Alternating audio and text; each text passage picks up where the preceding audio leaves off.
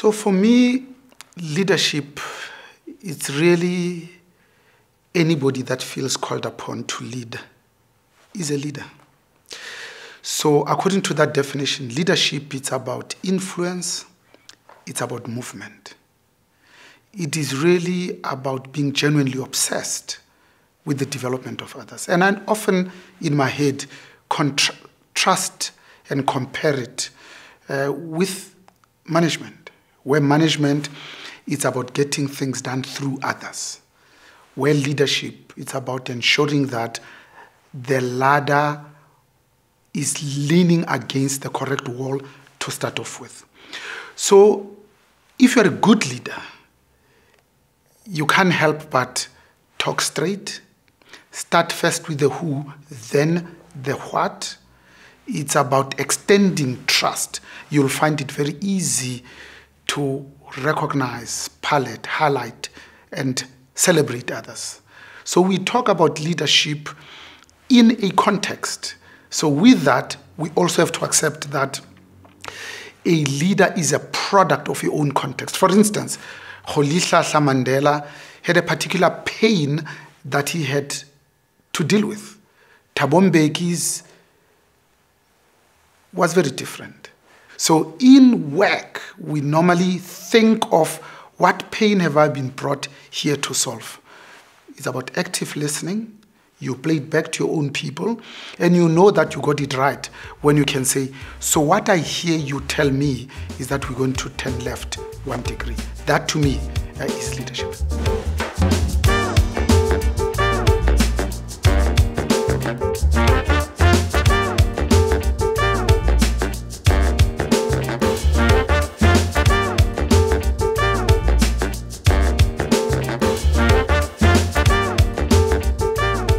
Think I've been absolutely blessed with some amazing opportunities. I'm a typical township boy from Katlehong, part of the Kathorus area, Katlehong Thokoza Vosloorus. So we saw some amazing, wonderful, good things.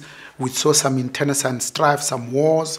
Um, but from early on, I always had a sense that I am very comfortable in my own skin.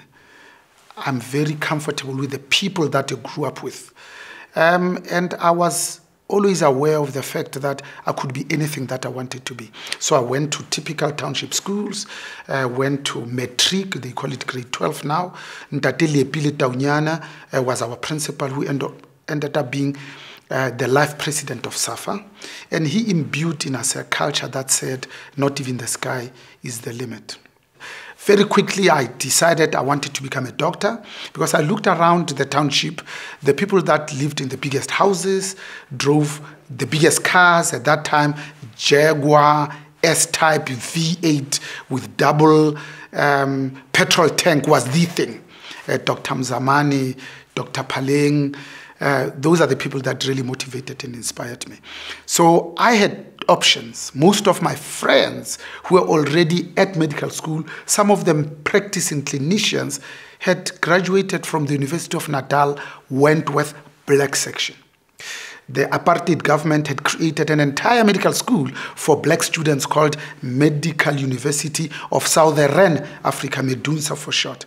So after passing my fourth year, we then go into our fifth year, we start doing our electives. From second year, you start hanging a stethoscope around your neck. We started delivering babies in Alexandra Clinic from year two. So you understood a little bit of anatomy and physiology, and of course, you did pharmacology, so you can understand the interactions uh, of drugs, uh, pharmacokinetics, and pharmacodynamics. And then out of the blue, I realized that, you know, I don't know many senior black executives.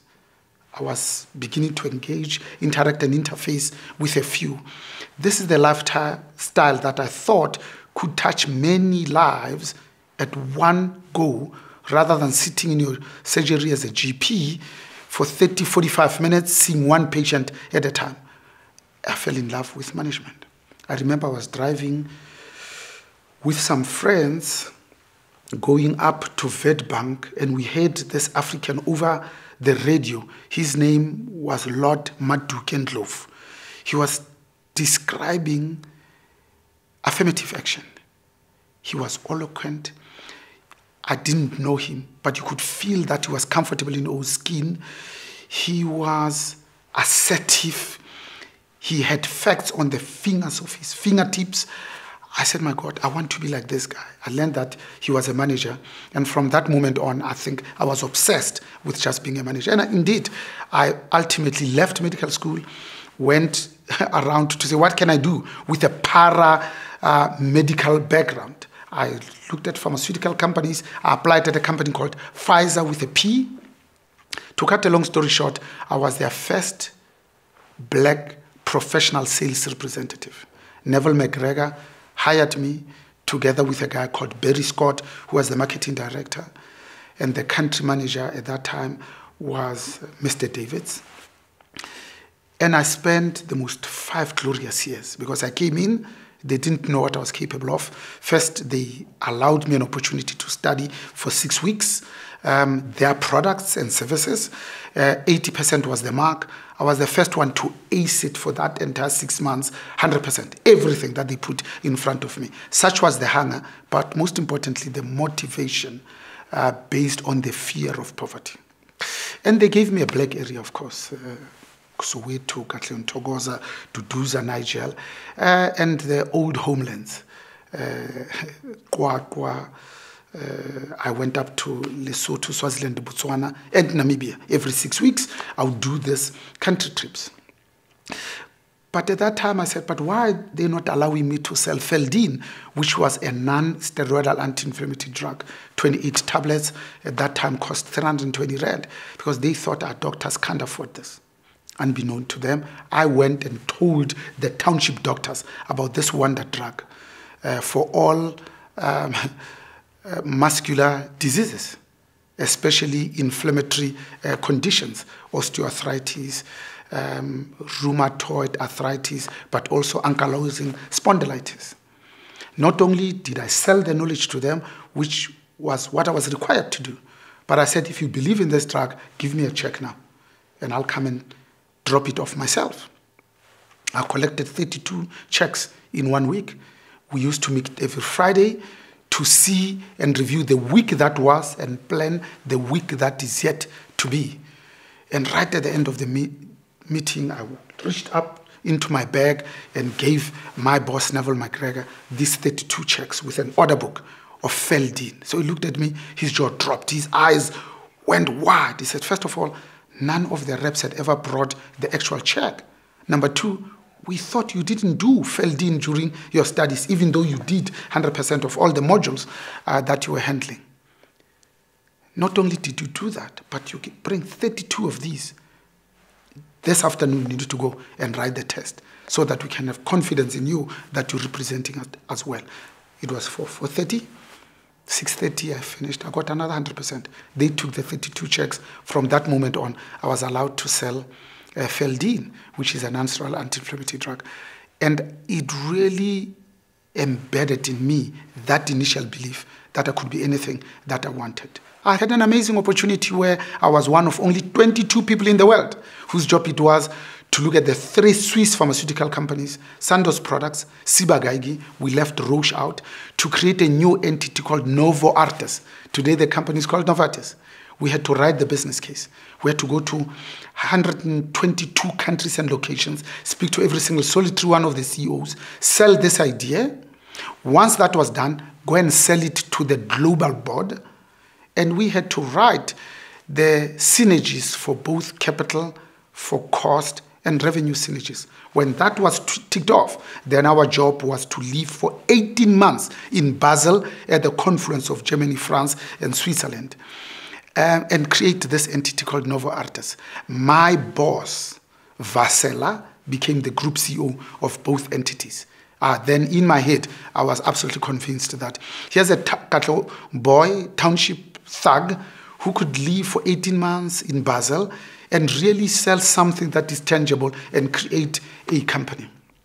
I was headhunted by um, a Spanish man, Mario Abajo, to be the managing director of the world's biggest and oldest elevator company. Not only was I MD of Otis South Africa, This was a listed entity on the Johannesburg Securities Exchange. I was MD of Otis Africa. We had a presence in 34 of the then 53, now we've got 54 African countries. I looked after the continent. First three years I reported to Paris, the last two to Madrid. At that time, there was no doubt in my mind, not any single fiber, that I couldn't compete with absolutely the best in the world. At that time, Otis Elevators was part of United Technologies Corporation, Hartford, Connecticut. UTC for short owned Otis, we made lifts. Carrier, they made air conditioners. Sikorsky, they made helicopters. Pratt Whitney, they made jet engines, PW400, PW800s, and Hamilton Sundstrand environmental products, toilets for the space shuttle, cabins for Apollo 13, and suits that are worn by astronauts. Three of the five were in aviation.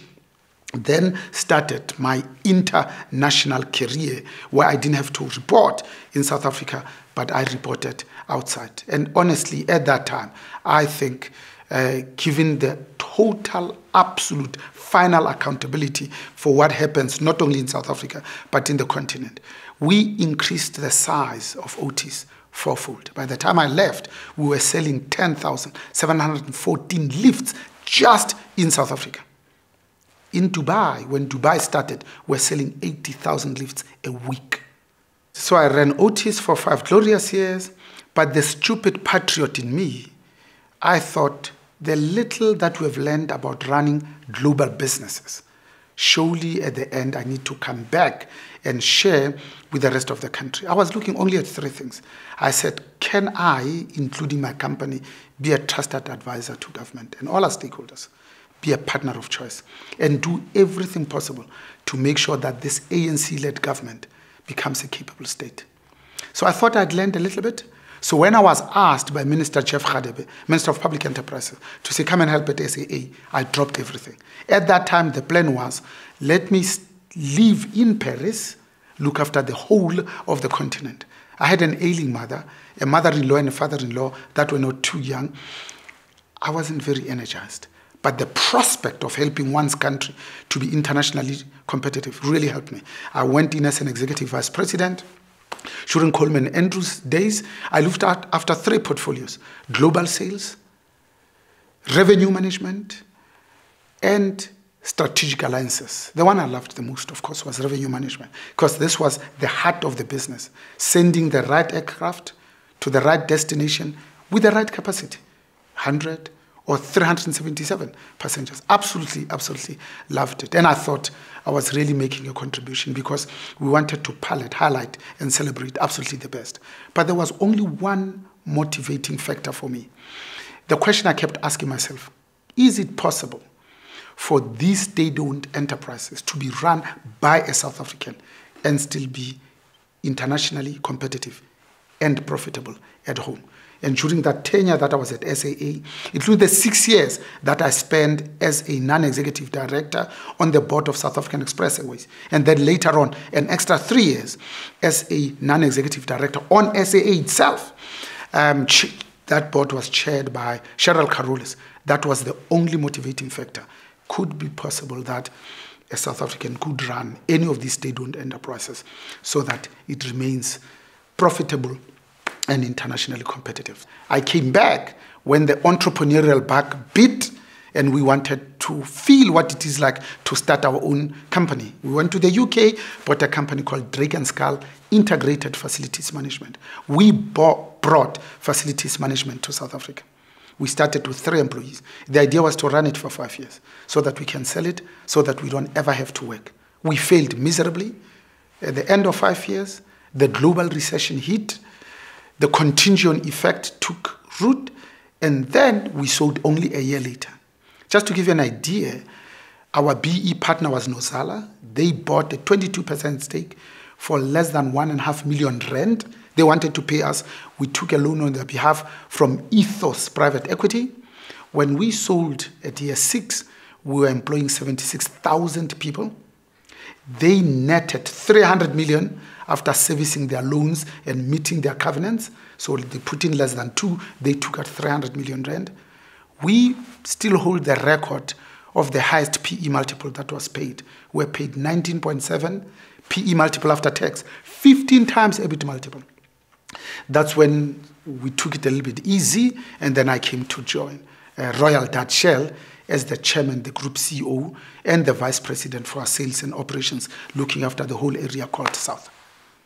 Some of the learnings for me about leadership that I've gleaned, yes, from Shell, but all the other companies that I've had the privilege of leading can be distilled into one or two things. First, I think all of us are called upon to really bring about companies of the 21st century that one bring about the enveloping and the accommodation of technology because technology drives um, our thought processes but also our delivery mechanisms but also even our models.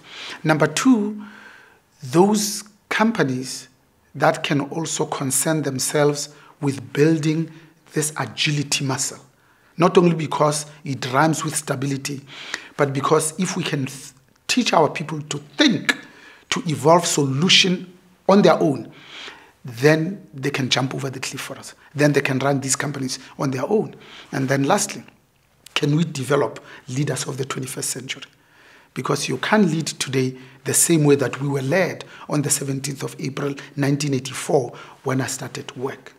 So that if we are lucky, maybe, just maybe, we can bring about the four leadership baseline behaviors.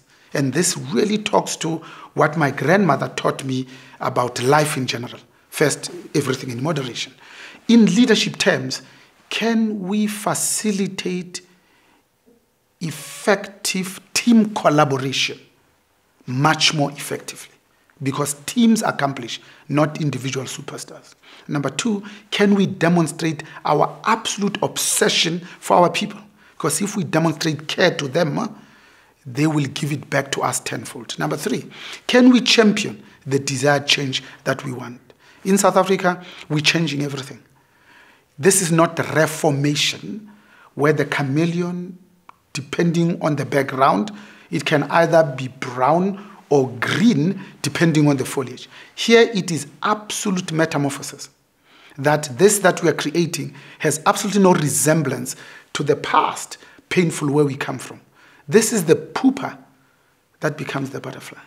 This is the cancer cell that if you look at it under the microscope, it bears no resemblance to a normal cell, but also it doesn't behave like a normal cell. It's about can we fundamentally break with the past? And we need to champion that change that we want to see. We can't say it ought to be led bottom up. Of course, we consult, we participate, but that needs definition, clarity, leadership, uh, singularity of purpose. And then lastly, can we really provide critical perspectives? As Africans, we are led by leaders that have been in power sometimes for 40 years from Kwame Nkrumah in Ghana, 1957, 60 years later, Ghana is not globally competitive. To Jomo Kenyatta, to Robert Mugabe now, we need to provide that critical perspective that says, what is it that we can do as Africans to contribute to the global international competitiveness that is uniquely African. And we can't do that like the Japanese did, just by copying everything American, making it better and cheaper and much more cost effectively. Really, it can be. We need to be looking at our own models. We need to be looking at our own resources. We need to be looking at how best we can utilize our talent, our own people. If we did that and did that really very well, there's no reason why Africa can't take its rightful place within the global uh, arena, especially because North America is saturated. If it grows by 2% in the next five years, they'll be celebrating. Europe, 28 uh, member countries, even their growth is curtailed, GDP growth I'm talking about, but even their population growth, they are regressing. So the one area that is really growing in the world is Southeast Asia, and of course, uh, some of the uh, old USSR countries. The next is Africa, where there's 1.2 billion people, 54 countries, speaking 2,000 languages. These are the people that are still going to buy cars, white goods, where even if you talk about energy, of the 7 billion people in the world, 1.4 billion have absolutely no access to energy. 642 million of them, happen to be in Africa. And yet, we have the most God given resources. Three of the biggest rivers in the world, the mighty Zambezi, happen to be in Africa. So we could have the biggest hydroelectric power um, plants in the world. The sun here shines 12 months out of 12 months in a year. And yet, the World Authority on Solar Energy is Germany, where they celebrate when they have three months uh, of energy. And we can use uh, other renewables, wind. We even have towns uh, named after the wind, PE and East London, windy cities in the middle of the ocean. Put turbines on top of our mountains where this can generate electricity because for me electricity is the third means of production. When you have good energy you can have economic growth. When you have good economic growth then and only then can we talk about the redistribution of wealth not redistribution of poverty. So if we can focus our time energy and effort on the three things that keep us awake at night the stubbornly high levels of unemployment Officially, we say 26%. In real terms, we know it's more 4 out of 10, so 40%. These stubbornly high levels of unemployment then lead to increasing levels of poverty and increasing levels of inequality. And I submit that what leads to social strife and implosion of civilizations is relative inequality. So if we don't tackle that, we won't be able to sleep at night because when your neighbor is hungry, you are the one that can't sleep at night. The people would move across the bridge from Alexandra to the leafy suburbs of Bryanston to steal from our fridges out of necessity. We have to halt that. When the driving force and the motivation can only be how is this helping us to improve the quality of lives of the majority of our people? So, the way I think about the challenge we are called upon to solve today in this country, in this context, when so many of us dare to hope that joy and peace will prevail. Number one is how do we collectively give effect to the South Africa of Rolihlahla, Mandela's dreams. He wanted us to be the greatest nation on earth. So that we can achieve in our lifetime this notion of inclusive economic growth. Because in the past we have had 43 consecutive quarters of positive GDP growth. But the rich got richer, the poor got poorer. Of course, we made huge progress because every year we added 400,000 families into the black middle class. Thirdly, so that we can realize this nation building. Because we are busy with an unfinished project of building a nation from two disparate worlds the white world that has and the black world that does not have where poverty is defined just by where you are born and by the color of your skin. So we have to change that. So that lastly, we can achieve this notion of social cohesion, where we are cohesive, we one people with one vision, one country, one endowment. And some of the management principle that arises out of that is when you are given a new company to come in and be a part of is you know that those people don't care so much about what you know. They genuinely care about the fact that you care about them. And in there, we look at positing leadership bang in the center of everything that we do. Why? So that we can get ordinary people to give us extraordinary outcomes. That's what creating movement, that's what having influence is about. We need men and women with demonstrable track record that are selfless, that work hard, that show that they can run businesses first and foremost because there are only two means in which countries get their income. Number one in South Africa is the 28% corporate tax. Number two is the 41, now 45% PAYE that comes from people hired by these companies.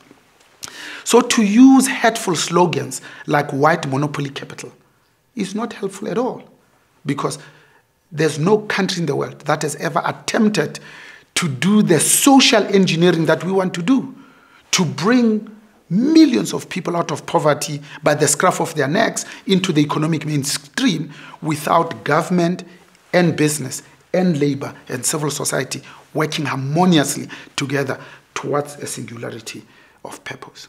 And I'll submit that there is nothing more important than the environment, the culture, that will create an environment that says everybody is needed and wanted. Where you feel it, you can touch it, it's palpable. Especially women, because businesses today are very hostile to women as they are hostile to black people in general. That environment where, like farming, we know that the farmer does not spend 80% of his or her time massaging the individual seeds, but they spend 80% of their time preparing the soil, the environment. So the culture in an organization says every one of our people, irrespective of age, race, sexual orientation, in a right environment, can bear fruit in abundance. They can thrive. Our job is not to coach individuals to fit in, to teach them what color glass goes with what color wine, that you eat from outside in, that you eat left your bread and you drink right from your glass. That's less useful. What is more useful is to say, can our women feel that they are rewarded for the fact that they are mothers at home looking after our children before they come uh, to work? That they drop them off at school, having made sure that their lunch is packed.